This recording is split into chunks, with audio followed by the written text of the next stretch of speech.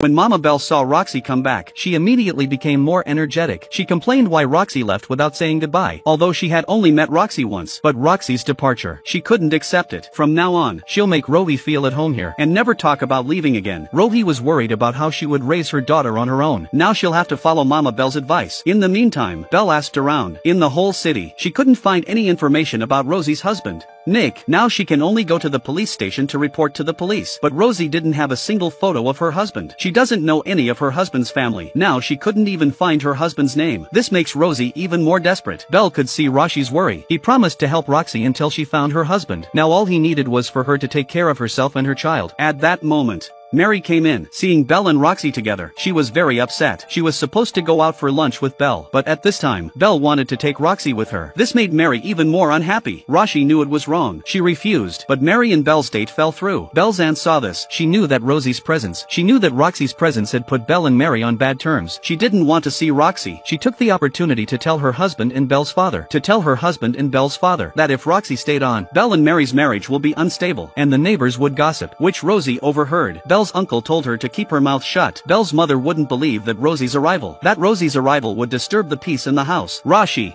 in order not to live for free, Rohi started taking care of the mansion every day. But this was greeted with sarcasm by Lisa. She thought Rohi was staying at the mansion on purpose. When she saw Mama Belle coming, she put on her friendly face again. But what happened next? Lisa stopped pretending to be nice to Rohi. Her blind date came to the house. The older woman took the date very seriously. Rohi attended the meeting with her. But what they didn't expect, it wasn't Lisa who was attracted to the guy. It was Rashi. This made Belle's aunt angry. She blamed Belle's mother for taking advantage of her, for bringing a widow into the family. And now she's interfering with her daughter's marriage. Belle's aunt blamed Rohi for all this. This time, she's going to throw Rohi out, no matter what.